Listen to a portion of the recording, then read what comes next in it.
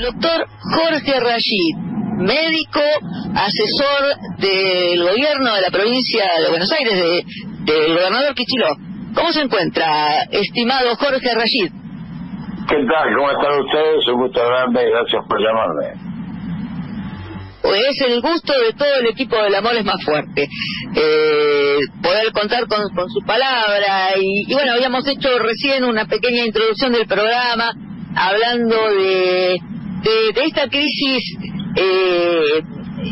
global que hoy se expresa con una guerra en, en Eurasia, ¿sí? que, que afecta a, a Rusia eh, y a Ucrania pero que sin embargo tiene tiene otros otros eh, componentes muy complejos y que de esto queríamos hablar con usted.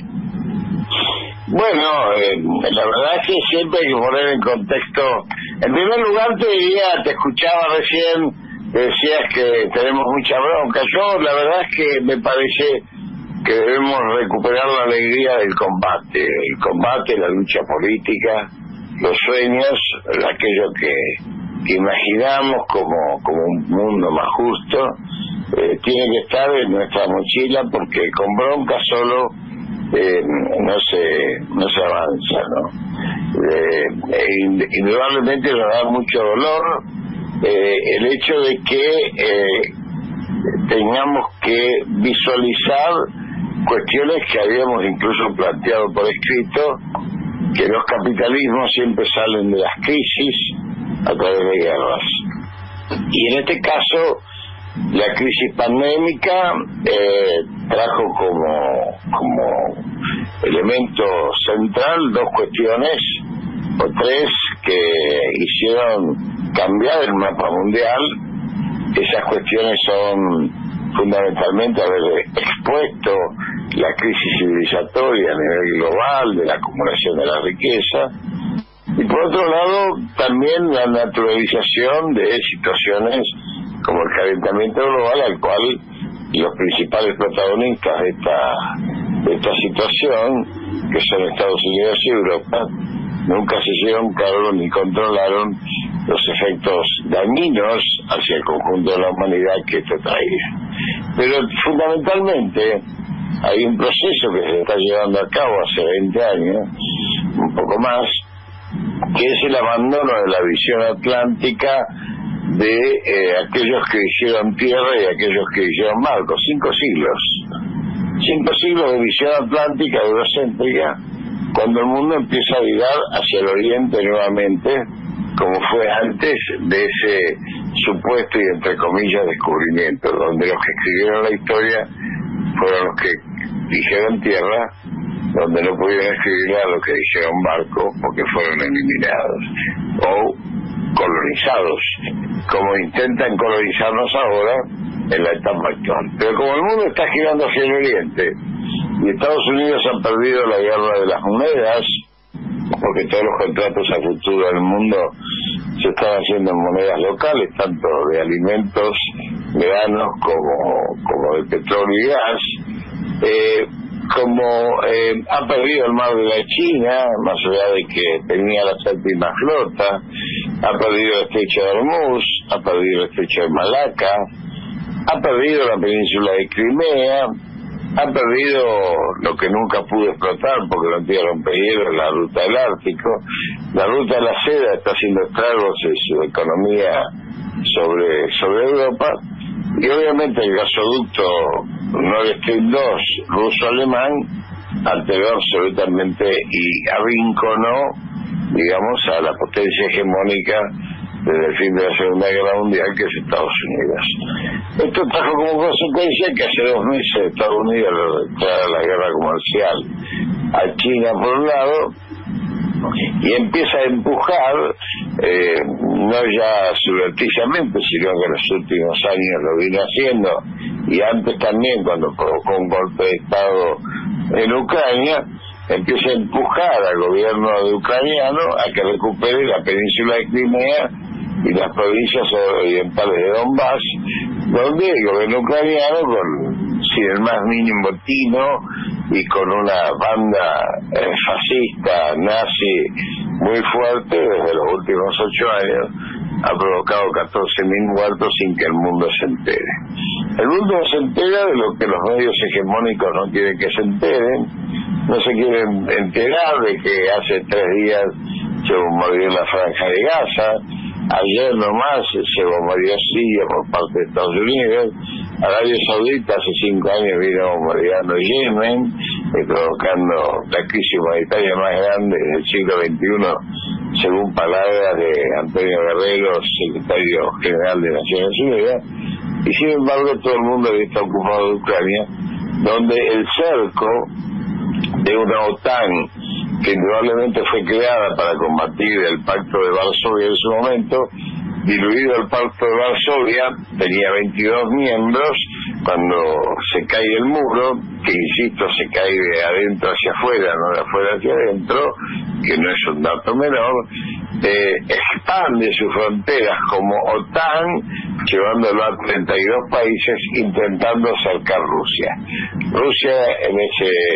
caso acordó con el gobierno de Ucrania, eh, después del golpe de Estado, un gobierno ilegítimo, pero acordó igual en busca de la paz, los acuerdos de Minsk,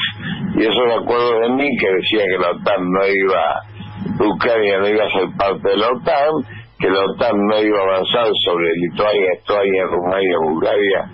eh, y avanzó, y que además las provincias declaradas independientes, autónomas, como las dos provincias de Donbass y la península de Crimea, que se había adherido a, ya por plebiscito a Rusia, iban a ser respetadas. Bueno, nada de esto se, se cumplió y la OTAN eh, fortaleció el armamento eh, no solamente al cerco de la OTAN sobre Rusia, sino a Ucrania para que siga la matanza. Esto llegó a una situación donde Rusia responde eh, con una con una violencia indudablemente que siempre conmueve la violencia. Nosotros no estamos a favor de ninguna de ninguna guerra, no nos parece que sea el método, pero todas las guerras y todos los muertos para nosotros los americanos, los, los criollos, los, los, los, hombres y mujeres de América Latina que construimos el pensamiento, como dice Francisco, desde la paz, eh, no solamente no vamos a participar y nos oponemos a cualquier guerra, sino que vamos a proclamar la paz como valor absoluto y la neutralidad a conflictos de intereses que están hoy combatiendo entre un mundo unipolar que deja de existir de Estados Unidos y un mundo multipolar que emerge y que intenta ser combatido. Hola, buenas tardes, Jorge. Eh, Rachel, te habla Alejandro Ananía. ¿Cómo estás? ¿Qué tal? ¿Cómo estás, Alejandro? Bien. Muy bien. Eh, y te quería preguntar, me interesa mucho el enfoque eh, de análisis internacional que haces, eh, porque mm, es lo que nos niegan los medios de comunicación como información, es que Estados Unidos y la OTAN viene cercando, digamos, cada vez más a los a los sectores y haciendo una guerra hasta económica con China, aquellos sectores de la economía internacional que crecen y empiezan a hacer sombra a Estados Unidos. Entonces la pregunta es, eh, Estados Unidos no tiene una manera positiva de insertarse en ese nuevo escenario internacional que no sea hacer la guerra? ¿O esto pone sobre la mesa, no sea cosa que esto ponga en expuesto, que los, eh, las relaciones de intercambio expuestas desde Bretton Woods eran demasiado desiguales para el mundo e injustamente beneficiosas para Estados Unidos y, sus secuaces de la OTAN, ¿no? ¿No será así? ¿A vos qué te parece? La verdad es que es muy interesante. Yo creo que te remito a la fábula del escorpión, no sé si la conoces, la del escorpión y la rana. Eh, ¿No es cierto? Ah. La vamos a decir para la audiencia.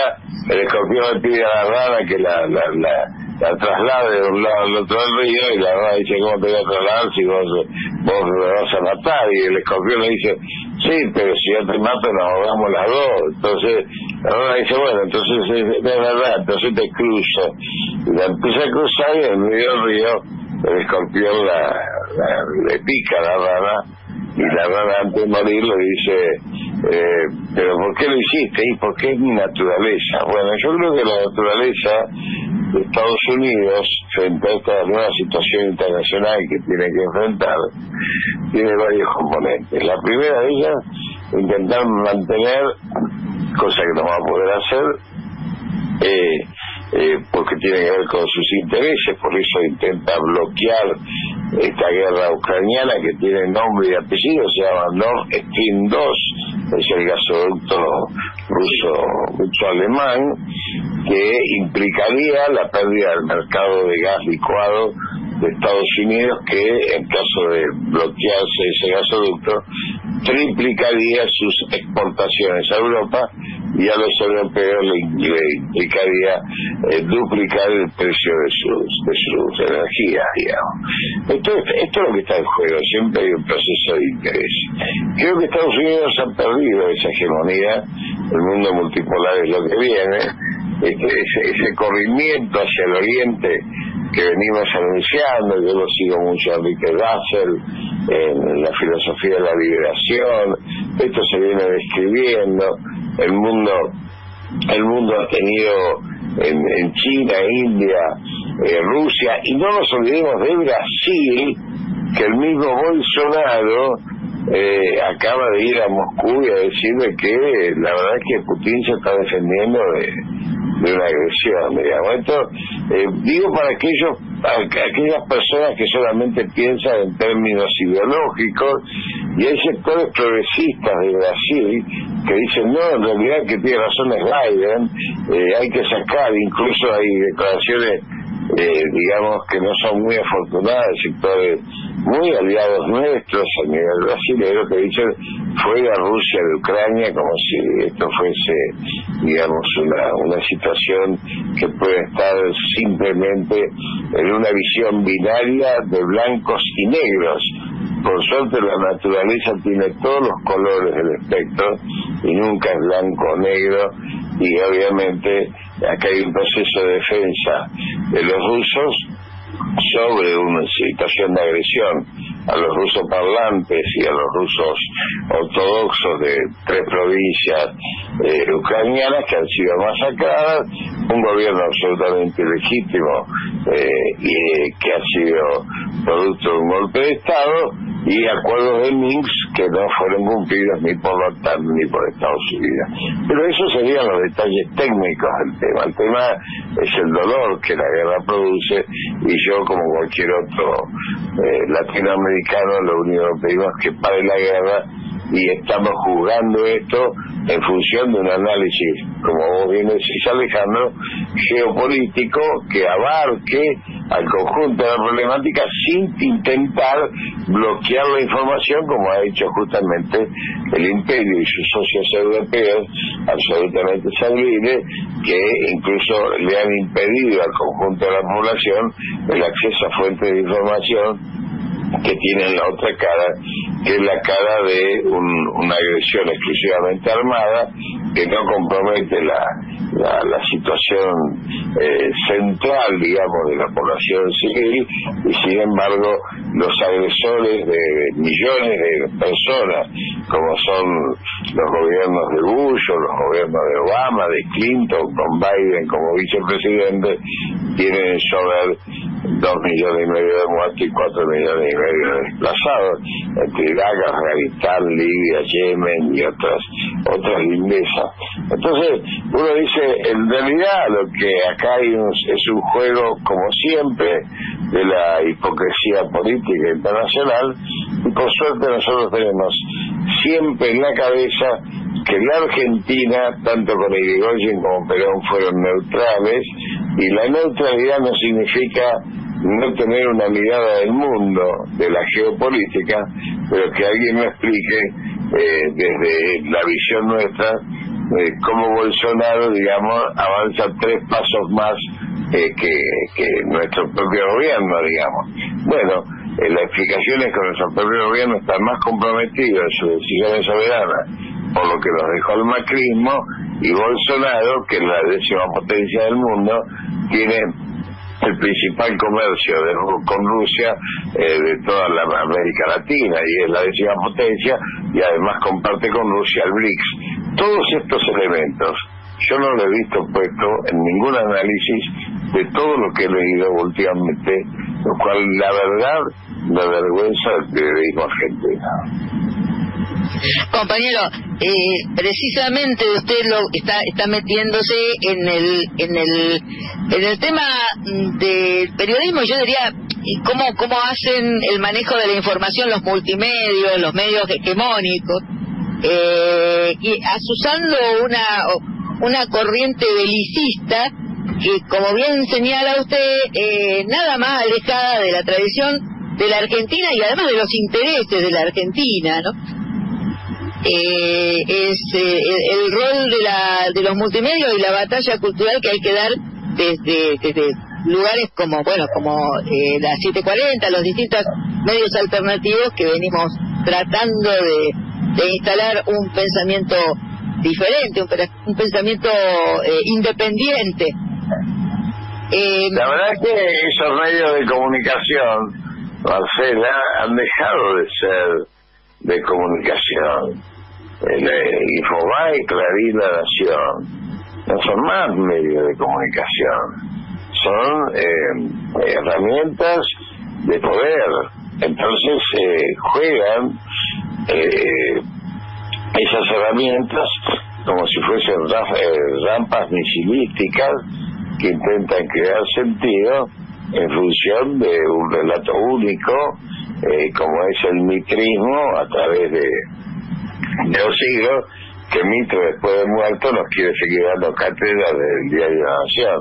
Ese es un relato que tiene que ver con la hegemonía dominante, prevalente en este siglo neoliberal, eh, pero anteriormente liberal, eh, pro-británica o pro-Estados Unidos, y en este momento ya está eh, neoliberal que solamente responde a los intereses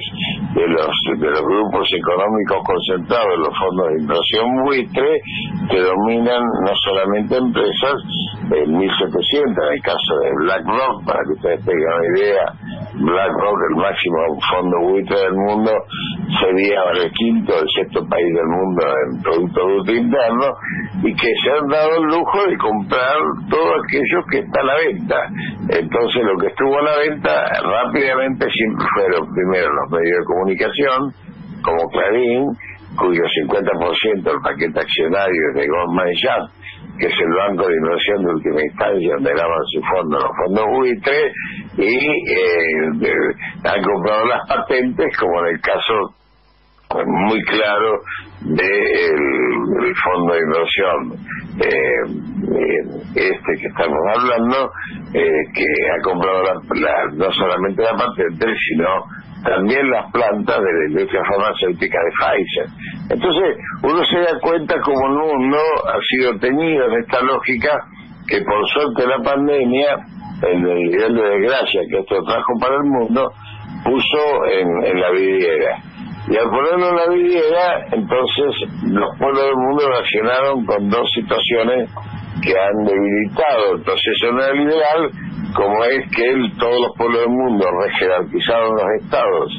desplazando los mercados como ordenadores sociales y recuperando los estados, la planificación estratégica, el diseño estratégico, la planificación y el financiamiento de las políticas públicas, y por otro lado, los pueblos entendido que para una batalla pandémica, una guerra como cualquier otra, que es lo que está pasando hoy en el mundo, eh, lo que debe imperar es la solidaridad social compartida, sea del bando que sea, sea de la ideología que sea, los pueblos van a sus actitudes más íntimas, que no son egoístas e individuales, sino que son de conjunto y solidaria. Estos dos elementos destruyen la teoría neoliberal que fue dominante en las últimas cinco décadas. Eh,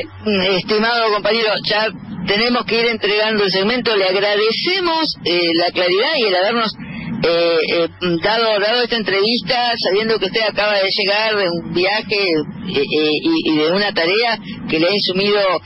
mucho tiempo y, bueno, desde ya enormemente agradecidos entonces por este contacto que nos aclara y nos y nos fortalece como siempre. yo le agradezco a usted porque siempre estar en contacto con los compañeros y las preguntas, Marcela, tuya y Alejandro,